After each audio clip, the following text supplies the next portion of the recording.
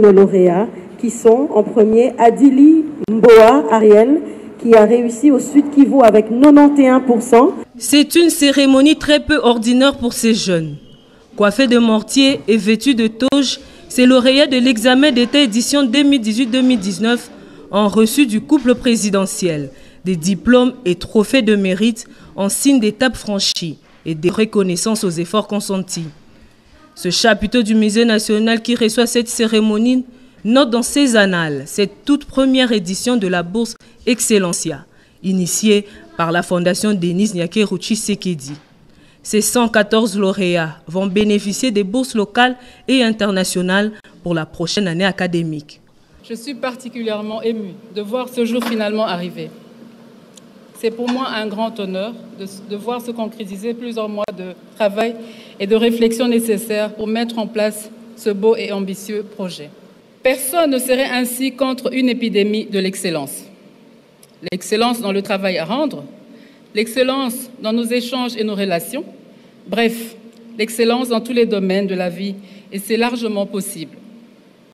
Ce soir, nous nous attarderons un tout petit peu à l'excellence dans le domaine scolaire, dans l'éducation. L'objectif 4 de l'agenda 2030 des Nations Unies considère que l'un des piliers les plus solides et éprouvés du développement durable est une éducation de qualité pour tous.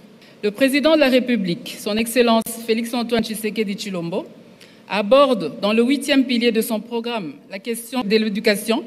Il ambitionne de faire de l'éducation la clé du changement et le principal levier social.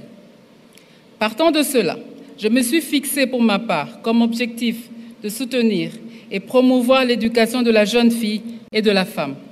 Tout simplement parce que j'estime qu'une fille bien éduquée et instruite libère son plein potentiel. Mesdames et messieurs, si vous pensez que l'aventure est dangereuse, essayez la routine, elle est mortelle, disait le romancier et interprète brésilien Paulo Coelho.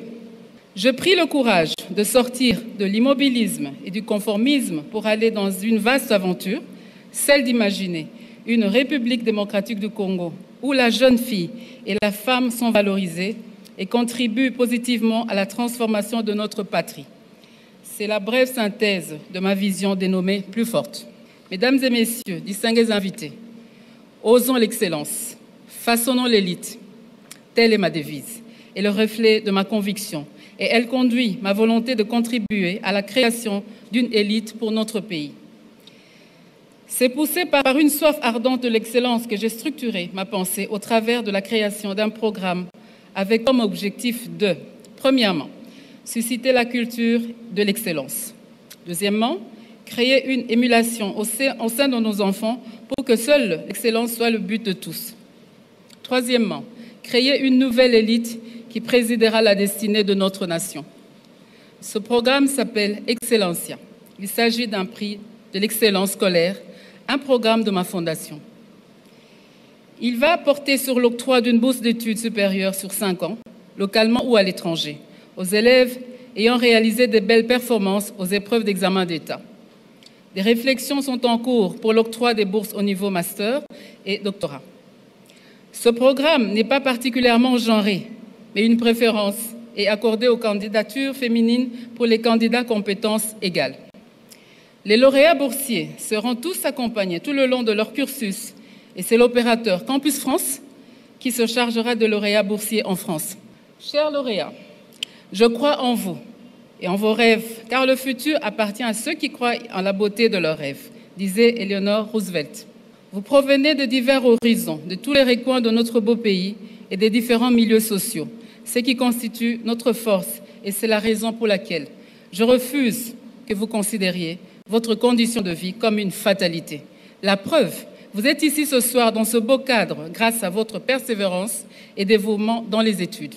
Je ne voudrais surtout pas que vous considériez comme des privilégiés, mais soyez cependant des serviteurs de cette nation qui vous reconnaît aujourd'hui. Tenez-vous debout en toute humilité. Relevez le défi de faire de ce pays, don béni de Dieu, encore plus beau qu'avant.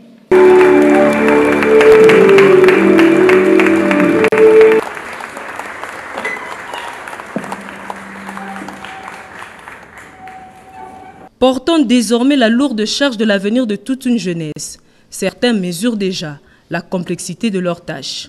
La Première Dame nous a, lancé encore un défi aujourd'hui euh, en nous faisant confiance parce qu'elle veut voir un Congo meilleur, elle veut voir un Congo fort. Puisque là, nous, sommes parmi les piliers afin de réaliser ce rêve. Et personnellement, je m'engage euh, afin que tout le moteur puisse être activé pour ne pas la décevoir et pour ne pas surtout décevoir notre pays. Puisque où que nous soyons, nous sommes des ambassadeurs euh, notre pays, alors nous devons donner les meilleurs de nous-mêmes. En tout cas, c'est ce qui sera fait.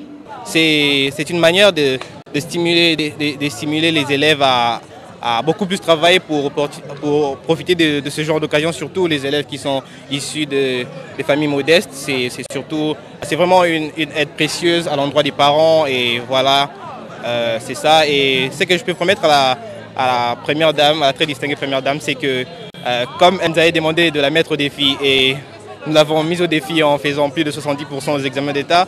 Voilà qu'elle euh, nous met, elle aussi, elle aussi euh, au défi de rehausser l'image de, de, la RDC, de l'éducation congolaise au travers du monde et ici aussi au niveau local, au niveau national. Je suis très très heureuse et je remercie toujours Madame la Présidente et la Fondation parce qu'on ne croyait pas que ça allait se passer. C'est comme si c'était une surprise. Vraiment, nous sommes très heureux très ému de participer à cet événement encore. Le ministre de l'enseignement primaire et secondaire qui voit ces jeunes quitter sa tutelle la tête haute a étalé toute sa fierté devant l'Assemblée. Son collègue de l'enseignement supérieur, lui, s'est dit fier de recevoir ces génies pour en faire des cadres. Une initiative très importante qui met l'enfant congolais au centre de ses préoccupations. Aujourd'hui, c'est à l'unisson. Tous les Congolais, indistinctement, doivent travailler pour l'éducation de nos enfants. Je pense aujourd'hui, Excellencia, c'est une initiative qui a permis de renforcer notre système éducatif. Un honneur pour moi en tant que pédagogue, un honneur pour moi en tant que formateur des enfants, puisque la très distinguée première dame et dans la vision du président de la République, partage avec moi cette vision-là, cette ambition-là, d'aller toujours de l'avant et de soutenir l'enfant congolais.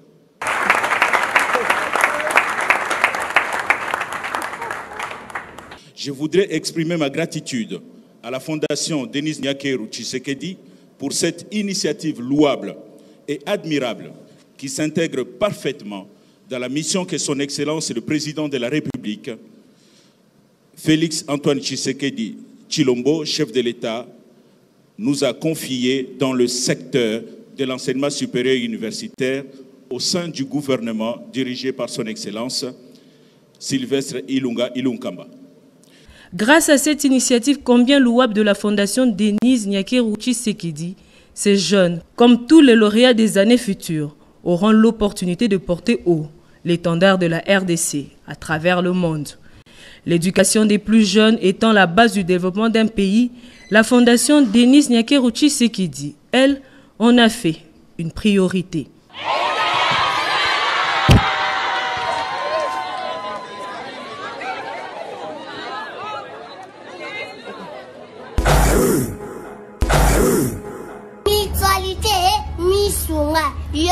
moko misu nga tokate mokili nga na te eza ke yo moko misu nga nga deja